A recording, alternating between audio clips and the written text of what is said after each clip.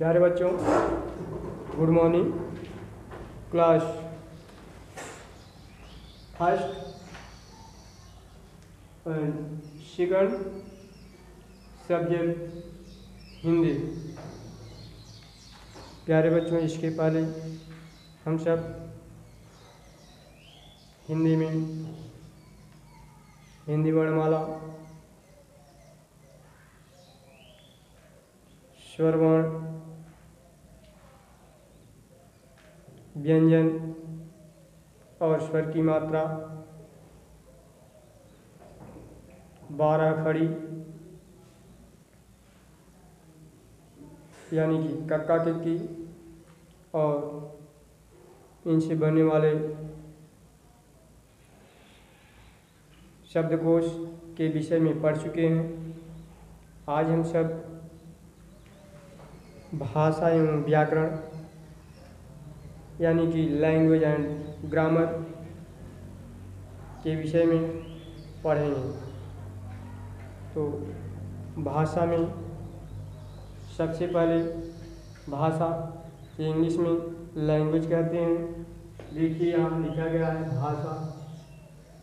Language यानी कि भाषा की परिभाषा, जिसे इंग्लिश में डिफिनीशन कहते हैं।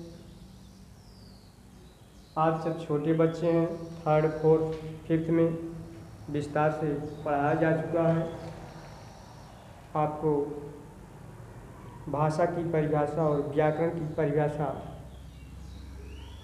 दिखा दे रहे हैं और आपको विस्तार से पढ़ना हो तो थर्ड फोर्थ फिफ्थ में लिखा पढ़ा गया है। वीडियो के माध्यम से आप उसे देख सकते हैं। तो प्यारे बच्चों, देखते हैं।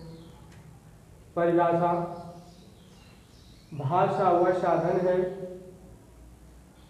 जिसके द्वारा हम अपने मन के भाव और विचारों को दूसरों के सामने प्रकट करते हैं तथा दूसरों को, दूसरों के भाव और विचारों को स्वयं समझते हैं, भाषा कहलाती है। प्यारे बच्चों, इसे समझने की कोशिश करते हैं। भाषा वह साधन है जिसके द्वारा हम अपने मन के भाव और विचारों को दूसरों के सामने प्रकट करते हैं तथा दूसरों के मन के भाव और विचारों को स्वयं समझते हैं, भाषा कहलाती है। तो भाषा के रूप देखते हैं। भाषा के रूप या इसे कह सकते हैं भाषा के प्रकार। काइंड्स ऑफ़ लैंग्वेज इंग्लिश में कहते हैं। सभी भाषाओं के तीन रूप होते हैं।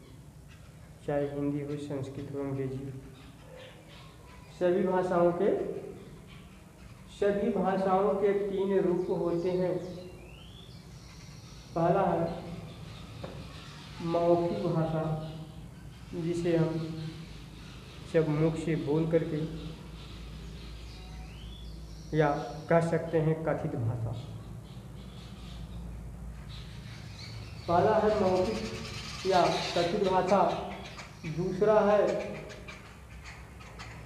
लिखित भाषा और तीसरा है सांकेतिक भाषा। मौखिक भाषा को जो हम मुख से बोल कर या मुँह से कह कर के अपने भाव और विचार को दूसरों तक तो पहुंचाते हैं, उसे मौखिक या कथित भाषा कहते हैं। लिखित भाषा में जैसे विद्यालय में अवकाश पत्र हो लिख करके भेजते हैं छुट्टी के लिए। प्रार्थना पत्र, ये लिखित भाषा में होती है। या होता होता है। और सांकेतिक भाषा जैसे हम हाथ से या गर्दन सर से या आँखों के इशारों से किसी को इशारा करते हैं, इसे कहते हैं सांकेतिक भाषा। तो प्यारे बच्चों, सभी भाषाओं के तीन रूप होते हैं। जैसा कि यहाँ लिखा गया है, मौखिक, लिखित और सांकेतिक भाषा। तो क्लास फ़र्स्ट और सेकंड में आप सबके लिए इतना ही बहुत है। अब देखते हैं इधर व्याकरण, यानी कि इंग्लिश में कहते हैं। परिभाषा है। व्याकरण की परिभाषा देखते हैं और भाषा की परिभाषा इसे कॉपी पर नोट्स कर लेंगे। कॉपी पर नोट कर लेंगे नोट करके याद कर लेंगे। व्याकरण की परिभाषा यानी कि डिफिनीशन इंग्लिश में कहते हैं। व्याकरण वह शास्त्र है जो हमें किसी भाषा को शुद्ध शुद्ध पढ़ने, लिखने तथा बोलने के नियमों का ज्ञान कराता है, उसे हैं।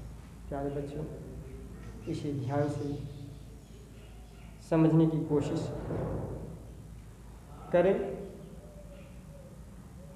व्याकरण वह शास्त्र है जो हमें किसी भाषा को शुद्ध शुद्ध पढ़ने, लिखने तथा बोलने के नियमों का ज्ञान कराता है, उसे व्याकरण कहते हैं।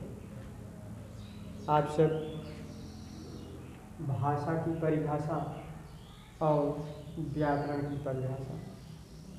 कॉपी पर नोट कर लेंगे, याद कर लेंगे और आगे से आपको व्याकरण में शब्द विलोम, कुछ पर्यायवाची शब्द, एक शब्द के लिए अनेक शब्द लिखाए जाएँगे। आज के लिए थैंक यू।